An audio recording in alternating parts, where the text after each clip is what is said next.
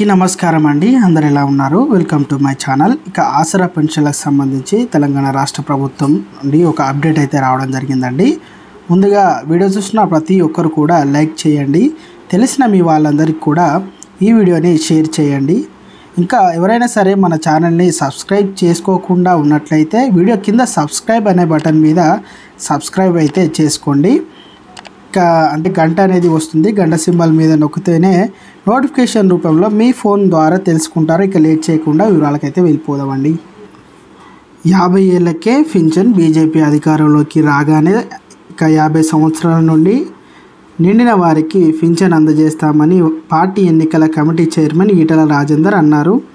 BJP నేత అందే శ్రీరాములు చేపట్టిన పాదయాత్రకు మంగళవారం ఈటల రాజేందర్ మద్దతు తెలిపి మల్లాపూర్లో చౌరస్తాలో నిర్వహించిన బహిరంగ సభలో మాట్లాడారు. ప్రభుత్వ పరంగా న్యాయమైన విద్యా వైద్య ఉచితంగా అందజేస్తామని హామీ ఇచ్చారు. ఇక యా ఒకవేళ బీజేపీ ప్రభుత్వం ఇక మనకు మన తెలంగాణ రాష్ట్రంలో ఇక అధికారంలోకి వస్తే యాభై ఏళ్ళు నిండిన వారికే ఇక ఆసరా పింఛన్ అనేది అందజేస్తామని తెలపడం జరిగింది. అంతేకాకుండా మనకు నిన్ననే మనకు కేసీఆర్ కేసీఆర్ గారు ఇక మూడు వేల రూపాయలు ఉన్న వికలాంగుల పింఛన్ని ఒక వెయ్యి రూపాయలు పెంచడం జరిగింది. దాన్ని దృష్టిలో పెట్టుకొని ఇక కాంగ్రెస్ నేతలు కూడా ఇక ఎవరైతే మనకు ఆసరా పెన్షన్దారులు ఉన్నారో వారందరికీ కూడా నాలుగు వేల రూపాయలు పెంచుతామని హామీ ఇచ్చారు. ఎందుకంటే ఇక ఎన్నికల సమయం ఇక ముందుగా ఉంది కాబట్టి ఇక బీజేపీ మరియు తెలంగాణ బీఆర్ఎస్ను మళ్ళీ కాంగ్రెస్ ఇవన్నీ కూడా ప్రధాన హస్తంగా పెట్టుకోవడం అయితే జరుగుతుందండి. అంత ఇంకా రెండు వేల రూపాయలుగా ఉన్న పింఛన్ని డబుల్ చేస్తామని చెప్పారు అంటే నాలుగు వేల రూపాయలు చేస్తామని చెప్పడం జరిగింది. అంతేకాకుండా ఇప్పుడున్న వికలాంగుల పింఛన్ని నాలుగు వేల రూపాయలు ఉంది కాబట్టి ఈ నెలలో ఇక మనకు అయితే ఆరు వేల నుండి లేదా ఐదు వేల నుండి పెరిగే అవకాశం అయితే ఉందండి. ఇంకా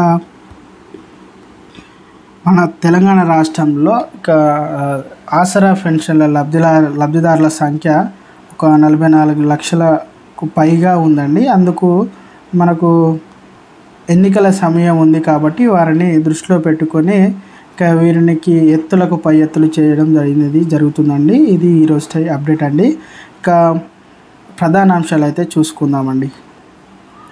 ఇప్పటి వరకు ఏ పదవి కోరులైది ఇచ్చింది వద్దని లేదు హాస్టల్ విద్యార్థులకు ఇప్పుడే రావద్దు. ఆ ఇరవై మూడు గ్రామాల షెడ్యూల్ ప్రాంతాలే వ్యక్తిగత డేటా పరిరక్షణ బిల్లు ముసాయిదాకు కేంద్ర కేబినెట్ ఆమోదం. మెడికల్ సీట్లు ఒక పదివేలు తెలంగాణ వైద్య విద్య విప్లవం. బీజేపీ గెలిపే లక్ష్యంగా పనిచేస్తా. ఆదిలాబాద్ జిల్లా ఆదివాసుల కిల్లా ఆధిపత్యం ఎవరిదో ప్రేమ వివాహం చిచ్చు ముందస్తు ముచ్చట. సవాళ్ళు ఎక్కువ సమయం తక్కువ. మరో ఎనిమిది కొత్త మెడికల్ కాలేజీ సీటు రద్దు చేసుకుంటే ఫీజు వాపస్.